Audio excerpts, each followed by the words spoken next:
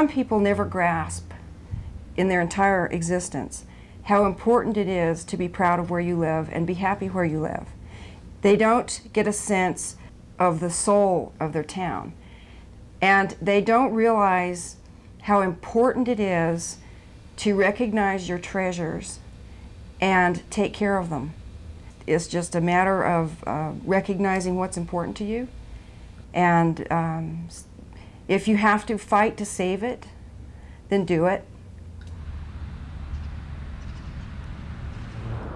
This was a thriving downtown. All the chains were here, Penney's and Sears and Woolworths. I mean, everything was here. So what went wrong?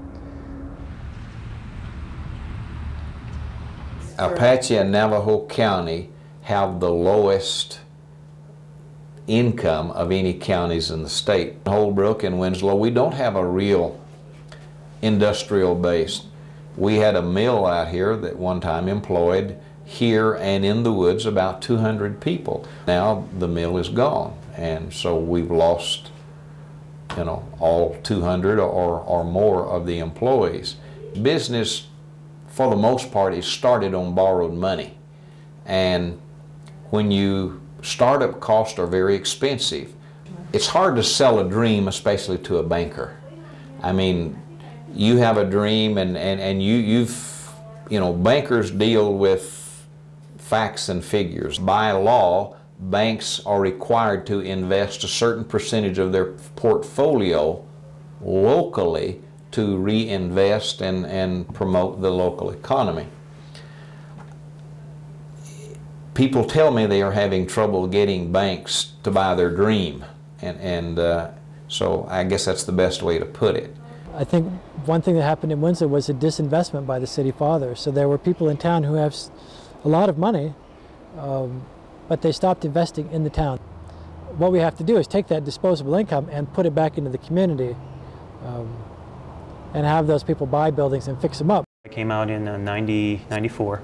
Um, and the reason I came out here is that the guy that owned this building said you can live in it free for a year and we'll work out a lease option. I said sold, that was it. Because I was, I was graduating out of fine arts at UCI uh, and uh, to actually get a studio space in LA was you know, I'd be working 60 hours a week, you know, so I could go and sleep in my studio. I'd never be able to get any work done. So uh, when I saw this space, I said, I'll make it work somehow. And that was it, I was here. What kept occurring to me over and over again was the thought that there was a definite possibility that uh, at some point in time we could look up and up the street and see a dead space where La Posada now is. We could see dead trees. We would be able to uh, see boarded up, a boarded up building with graffiti on it. We would see dead grass. This is the beginning of the end uh, when, when a town uh, can actually be faced with losing its most beautiful resource and its most beautiful architecture and its most beautiful grounds simply because we didn't act uh, Winslow's always looked outside itself for uh, we're going to we're going to discover oil. There's going to be a gold mine. There's all my life. There's been this miracle that's going to happen, and suddenly, in my talks, I presented the fact that uh, the princess was asleep, and the princess is us. Did it ever occur to you that we are also the handsome prince that is to kiss her and awaken her? We got the word out um, as far as we could that this was a national treasure we were dealing with. Uh, it's not just an ordinary hotel. This was not just an, uh, an ordinary depot. This, this is Mary Colter's masterpiece, and it is a marvel of architecture and beauty. Now, I graduated from high school in the 60s, so I am aware of efforts that were made to do a lot of things to better Winslow, beginning in the 50s, then again in the 60s, then again in the 70s, and then the 80s. And it just finally got to the point where I think the people of the town itself um, didn't really believe that anybody who came along and said, we're going to do this, believed they would do it. If your downtown is a ghost town, nobody wants to come there. And in 94, we were right at our, uh, the low part of the curve of recovery. I've been here six years. The first three years, um, I saw Kmart close, Factory to You, Radio Shack, Hallmark move, and you know more buildings go vacant. uh, and you, it's hard to imagine more buildings going vacant. So, uh, in the next three years, uh, um, not long after La Posada got in, I started to see more and more people uh, moving into the buildings. And again, half of these businesses may not make it, but at least someone's in the building. It used to be just me and the police department at five o'clock, which I kind of liked. But you know, now I have neighbors throughout, and that's that's the start of it. 40 years for this town to decline. That's the way it worked. And it's not going to come back in two years or three years. But people are beginning to think that their real estate down here has, has value. So you hope they don't sit on it or put too high a price on it so that they squelch your downtown development, you know, or that they sit on it and then don't repair the roof when it leaks and end up with a trashed building.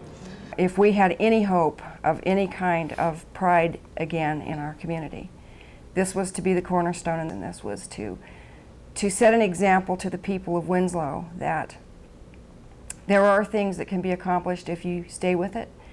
And this was where so many people uh, were, were full of doubts. We were able to, by a divine act of God, I swear, to, um, to meet with the Western Regional Director of the National Trust for Historic Preservation, Elizabeth Henning. She was at a seminar that I attended, and I told her about La Posada.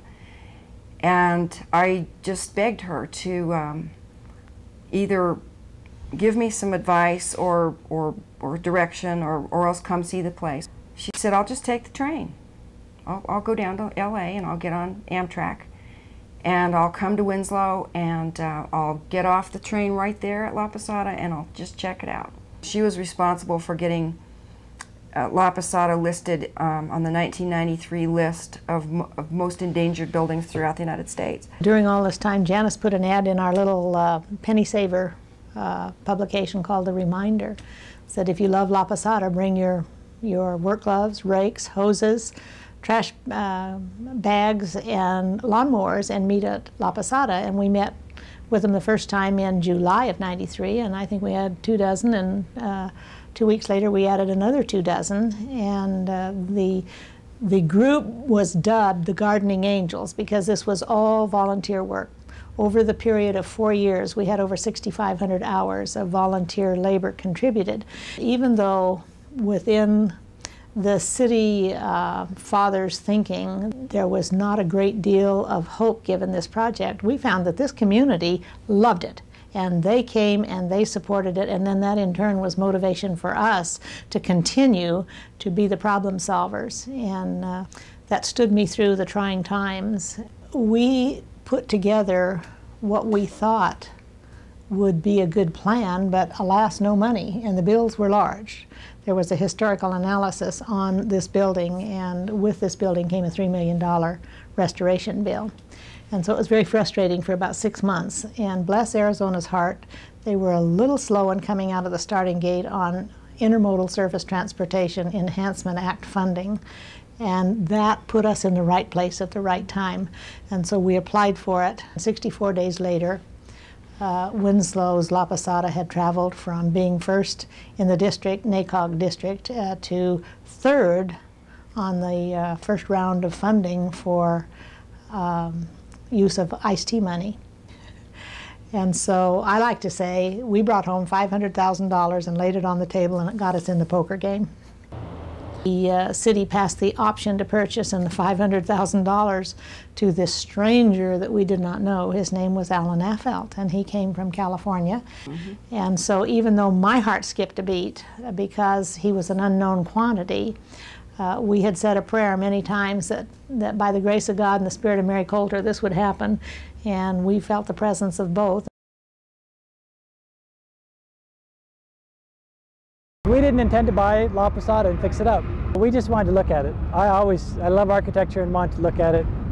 It's a fabulous building, uh, but we had no intention of buying it. I was running an architectural think tank in Laguna Beach called the EOS Institute which was composed of a bunch of eco architects and designers, really great people. Um, and uh, they produced a nice magazine and they did eco architecture, straw bale houses, rammed earth, that sort of thing. And I was interested in, in building interesting eco friendly spaces and, um, and also in architecture as an art form. And that's one thing about this building. It's a passive solar building. Um, passive solar building, enormous thermal mass. It's designed to work with the local patterns of wind. Uh, there's wind towers in the building. It's just a great functional building from an engineering point of view. Um, so I, I had been a member of the National Trust for Historic Preservation because I loved architecture as art. And this building just showed up in 1993. It was close enough that we could come and look at it. I fell in love with it before I came. We read this little thing in the news, uh, the magazine, and he is always coming up to me with bizarre ideas. Well, let's buy this. Let's, oh, there's a hot spring, so let's get this. And I would either give my initial gut reaction of yes or no. And I rarely give my gut reaction of yes. And we called up about this place. When we got the fax machine about La Posada and I took my first look at the building, I said yes. I loved the building. I really felt at peace here. We slept when it was empty, so I could get a feel for it at night. And um, that's how I give my final feeling. What happens when we start something like this, or the peace walks, or the concerts, or the films, or anything else? The general attitude is it can't be done. This is a huge building. You can't pay for it. It'll never support itself. The downtown is abandoned. So how much was the grant for? Uh, $500,000. But the problem wasn't just the grant. The problem was, okay, so we were awarded the grant. We had to come up with the match, but we didn't own the building. So we had to buy the building from the railroad. And the grant was complicated too because you can't use federal money on a building until you have an environmental clearance, which means the environmental mitigation had to be complete before we could get any grant money. But we needed grant money to buy the building before we could start the mitigation. So we had this chicken and the egg problem. And then when we did the environmental tests, they found that there had been a roundhouse on the west end of the property at the turn of the century, and bedrock is only down about 15 feet, which is the basement floor, and consequently there was some oil sediment contamination under the building. Only way to get rid of it, we were told, was to knock the building down, excavate the basement, get the oil out, and then we could use the federal grant money to buy the building. So it was kind of a perverse problem. The railroad and the state and the federal government and the city have all been really wonderful. For example, we got the federal government to agree to a mitigation plan, which was a passive plan which enabled us to pump steam under high pressure through the subflooring to clear out the, uh, the oil. We got the railroad to agree to pay for that and for the federal government to give us money to buy the building, and we agreed to give the railroad office space rent free. So the railroad took care of their environmental mitigation problem. We used the money for the match, or they sold the building to us for the land value. They wrote off the value of the building as a tax donation. Um, so we only had to use a relatively small amount of money to buy the building. The railroad paid for the mitigation, and we could use the rest of our initial contribution, which was a few hundred thousand dollars, to buy the building and start doing the restoration with the grant money. So it was fairly complicated, and there were a lot of pieces that had to come together. And it did take about three years. Um, but when all was said and done, everybody won. The city won because they got an outside capital investment in their community, and they got some new jobs created. We've had incredible media. Um, so the town has gotten more positive PR than it's had in its entire history. The railroad has free office space. Everybody's happy. In my opinion, a lot of it is serendipity there's there's great art and there's good timing and sometimes they come together and sometimes they don't and um, this building is here because they came together. If it would have been some architect other than colter the building probably wouldn't still be here because they would have torn it down. Um, if it would have been some other town like phoenix they would have torn it down because the land value would have exceeded the building value. You got to be in the right place at the right time with the right energy but a lot of it's just good fortune. And a lot of it is, it's like a garden, you know, it's an act of faith. You plant a tree, maybe it's going to be there 20 years from now. Um, you build a building, maybe it's going to be there 20 years from now. We're really lucky that the railroad converted to offices in a way. The railroad needed office space. They had this big, huge building. They figured, what the heck, we'll just tear out some walls and make it into offices. And, you know, I think it was good fortune that we came along when we did, because the railroad did want to abandon the building. Maybe somebody else would have come along, maybe not.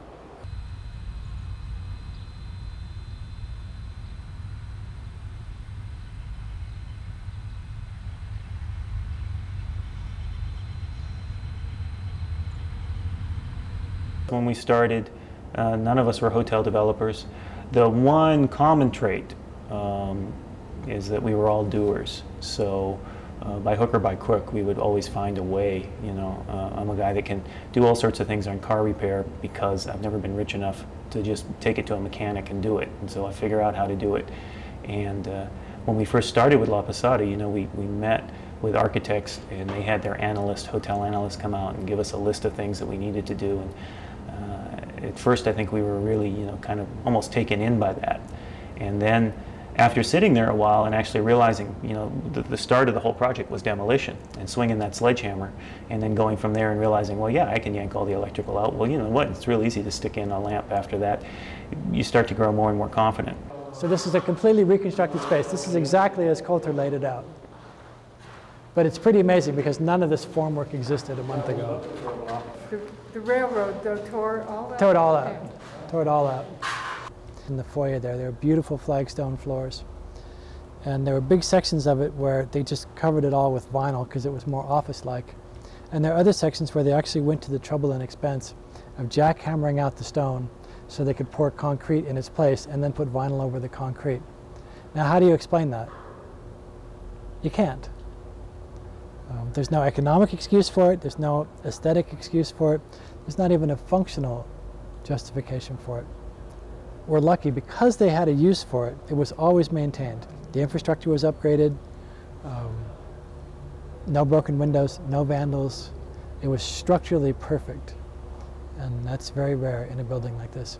So we're really lucky that the railroad converted offices in a way because if they hadn't done that, the building would have been torn down. So they did mangle it aesthetically, but it's still here and it's a relatively straightforward reconstruction. There was a sense of sadness um, that this was such a magnificent place that really had been allowed to deteriorate so much that people didn't even know what it was anymore. Architecture, unlike a, unlike a painting or something which hangs in a building, architecture, if it's not cared for, deteriorates. Um, and the context was gone. I mean, the context of the town, this bustling town all around it, all the people in it. Uh, it's not a it's not a static art. Architecture has a function. It's supposed to be a space for people to interact in. It's not strictly sculpture. Um, and so the entire context, the people context, the landscape context, the streetscape context, it was all gone. And then the interior artfulness of it also was significantly damaged. So I think there was a sense of how sad that this building, this incredible place, could have come so low, and that there were people here who still remembered what it was. And to them, it was really lost forever. Because although they wanted it to be restored, I didn't really get the sense from many of them that they believed it was possible. This building survives because we've been very fortunate in getting state support, federal support, and because we're willing to work for nothing, and because we have some very, um, very wealthy, understanding partners who want to make it go. That's a very lucky and unusual set of circumstances. And if any of those elements were to change, it would be gone.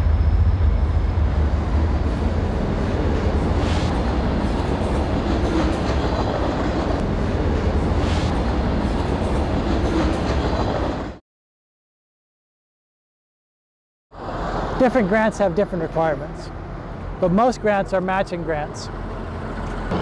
And some grants are reimbursement grants. For example, the grants, the main grant we're using on the hotel is a ISTEA grant, and that's a reimbursement grant, which means you spend the money first and then they reimburse a percentage of it.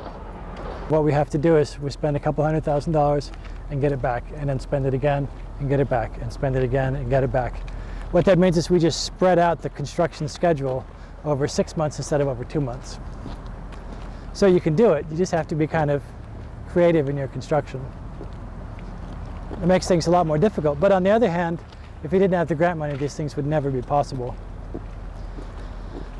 because a commercial developer is not going to come into this building and say, sir, it's worth a $5 million investment to fix it up.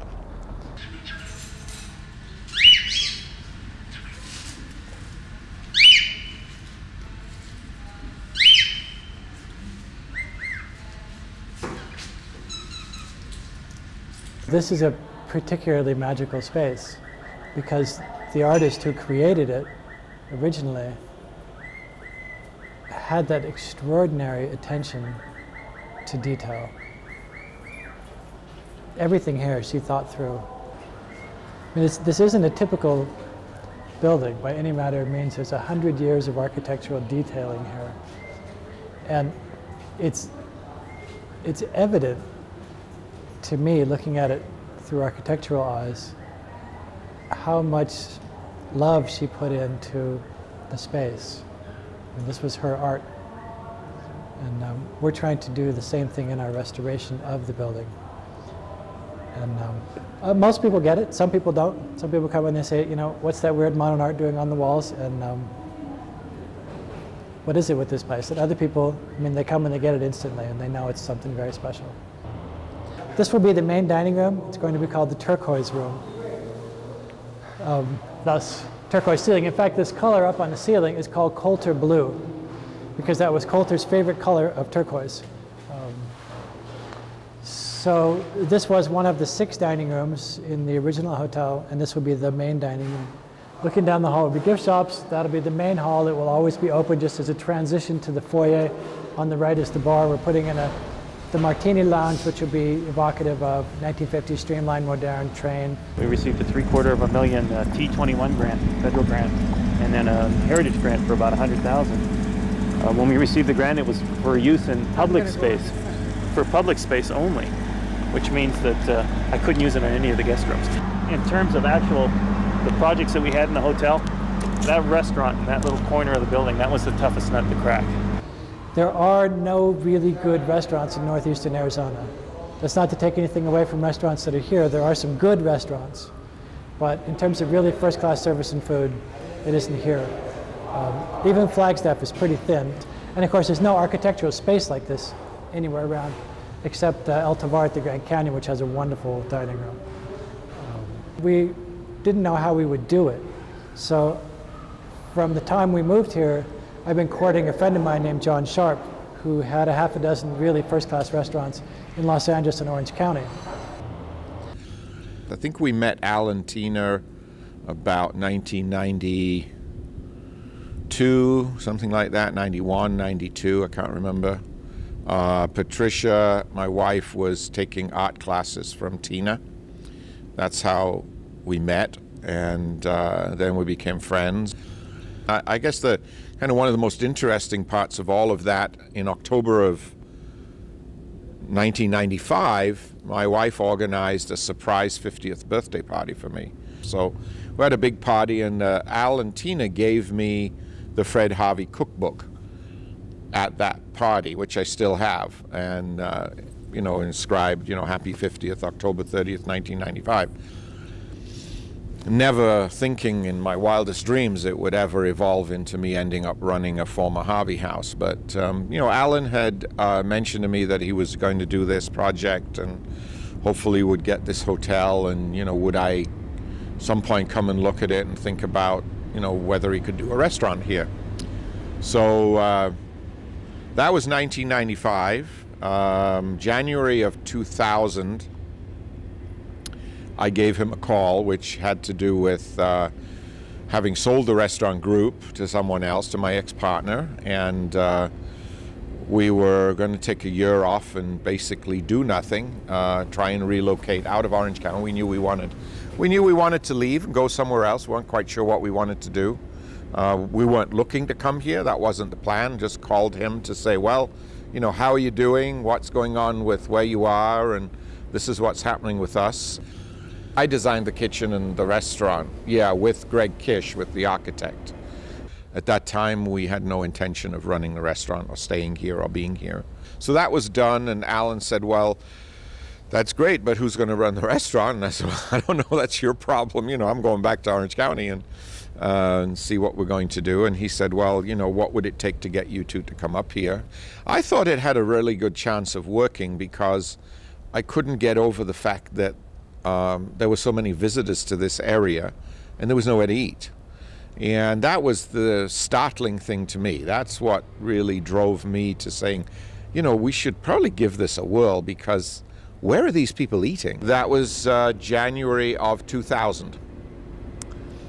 And uh, to put it into a time perspective, we came here January 20th of 2000. Uh, we opened the restaurant October 10th of 2000. None of us are hoteliers. Uh, I like to do architecture. Dan, the general manager, is a sculptor, and my wife was a painter. A major motivation for buying the space was as a space for art, and it satisfied all three of us. This, this created our own little art fantasy world. Where are you going to get a house with 70,000 square feet of beautiful wall space to hang your work and have people come in and see it? I mean, it's the best art gallery I know of. So that's really satisfying for us, and that's a lot of our motivation here, is the artfulness of the space. Tina's brother, Keith, is a master carpenter, and he's going to be doing a tremendous amount of carpentry for us, building the bar, building the newsstand, building all these radiator grills. So there's all that handmade stuff. All the tin work, like the Madonna in the entry hall and the chandeliers, those are all done by uh, Vern and Christy Lucero, master tinsmiths. Some of it's just mundane infrastructure stuff, but even infrastructure can be approached in a really creative fashion. You can just throw in an HVAC system or you can think about how to heat and cool the space in the least obtrusive way. And there's an art to that. It's engineering art. So what we try to do is whenever we bring tradespeople in, we tour them around the building, we let them stay here for free if they want to stay here, and we try to get them into the whole ethos of what we're trying to do here. so each tradesperson approaches their trade in the most artful way possible. Yes. We didn't do this project because we wanted to do a hotel. Right, right, It I could know, have been, right. if this was a monastery, we'd be doing a monastery. If this were um, a yacht, a big, you know, ocean liner, we'd be doing an ocean liner. It's not because we wanted to do a hotel at all. It just happened to be a hotel. But the building itself is is an entity, and it was this entity that drew, drew us here. Tina and Dan. Think of themselves, the two of them really as, as artists, and the doing of the hotel is sort of peripheral. Whereas for me, I'm so engrossed in the hotel that my art is much more peripheral. I do the drawing and the architecture when I can, and I do the business and the politics and all that because I have to, because it supports the whole art space for everyone else. And if, if, if we get to the point where we're working too much running the hotel, Tina has a fit and we'll just go into her studio and won't come out. Dan will get really cranky unless he can get into his studio. And I, I suppose I'm the same way, although I don't see it in myself. Um, but we got to be doing that or we're just not happy. And that's the justification for us. I'm real interested in plywood right now, and what fascinates me uh, about the material is uh, this edge-on view that you get and the, the striping that you get, uh, plus the texture you can work out of plywood. I mean, it's very rough, rugged. Uh, I'm buying the cheapest grade CDX plywood, which means that when I go to sand it and cut it, it splinters, cracks, and breaks. And it also has lots of gaps and holes in it, which to me, that texture is valuable. If it was some person trying to do a finished piece of furniture, they'd be miserable right now. Uh, and probably initially when I started to work on a lot of sculptures, you know, that misery was part of my, my problem too, because I couldn't, I didn't at first get by the fact that uh, it's okay for something to disintegrate or, or uh, become uneven. So uh, the odd thing about a lot of the pieces I make is that they're very much based on repetition and perhaps a sense of perfection. I mean, uh, to look at this, you can see that everything's pretty much lined up. There's a very nice grid pattern with a nice wave to it. Um, however, it's, it's also filled with imperfection. And as you're going through all this, it's kind of like a mantra or doing a rosary or uh, anything else that's repetitive. You tend to think a lot. And so whereas I may have had uh, a very distinct idea of what I wanted to do when I started, I've realized now that there's a couple of other ideas. When I first started making sculpture, that bothered the heck out of me. And now it, it doesn't bother me any, nearly so much. Matter of fact, I, I feel like I'm failing if I don't have that much change going on. I always loved the mixing of things. Um, I guess as being a little boy, I like to mix stuff. But I think what happened when I look back on it, um, it all had to do with that basic uh, need that we all have to be appreciated. And what I did was always appreciated. I love to cook and I like to sit down and eat and people like to eat my food and they told me so. So, you know, it was that positive reinforcement thing and that started out as a kid and, and never stopped. I mean, that's one of the great things about doing what we do in the restaurant business. You know, you you create a product, you put it out there, it goes on the table and hopefully people like it right away and if they do, you know. You know, it's not like manufacturing a video camera. you know, and you make a camera and then people buy it and then well, then what do you do? You got to manufacture another video camera. You know, but you don't you don't have everybody that uses the video camera telling you, "God, John, you designed a great video camera." So that's what it's all about. It's all about positive reinforcement and appreciation. Being here affects my artwork too. Oh, it completely changed it. And, and that's very important to me because I'd just gotten done having this big show in Los Angeles. And I'd worked for a couple years on it. After it was done, it was so stressful getting ready for it. And after it was done, I went off to Africa for six weeks. And Allan stayed in the United States and tried to buy this building. And I had no idea whether he was going to buy the La Posada or not. Oh. And I got, we were only able, I was out on safari, so we were only able to have contact once while I was gone, and he still hadn't known.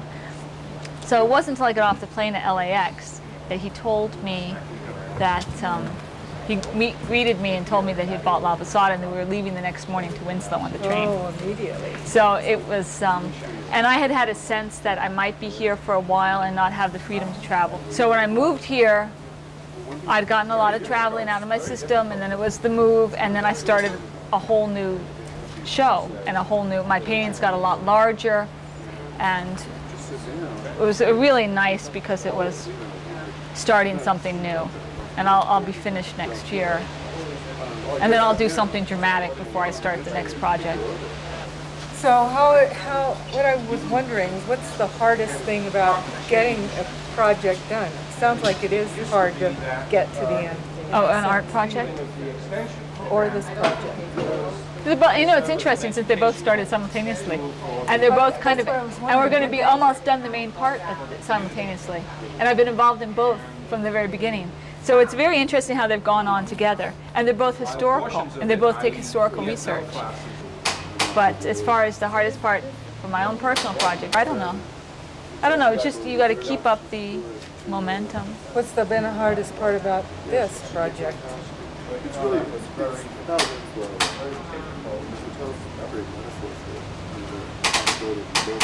Hmm.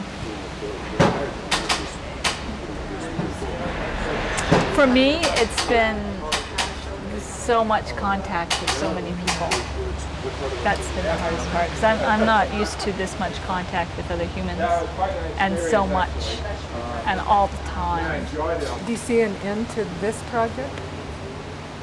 Of course, of course, there's an end to all projects, but the building will keep going on. Mm-hmm. We'll pass through it, we'll die, and the building will still remain here. But we will be part of its history. We will always be part of its history now. We definitely left our mark on this place. Right. And We've left our spirits here. A part of our spirits are here forever. what, what's the legacy you think you'll leave behind? Brought it back to life. Brought it back to life. And you think you'll bring Wins, help at least start bringing Winslow back to life, or have you? That would be wonderful. I think the building has um, definitely given the town of new hope. And why not? How many little towns have anything like this? I mean, this town had this beautiful, this beautiful history and this beautiful building to illustrate that history. So, to have it brought back is fantastic. But the town has other things that are very interesting and wonderful too. This can be the cornerstone for all the other things, and if they're all brought back, well, then there's a revival.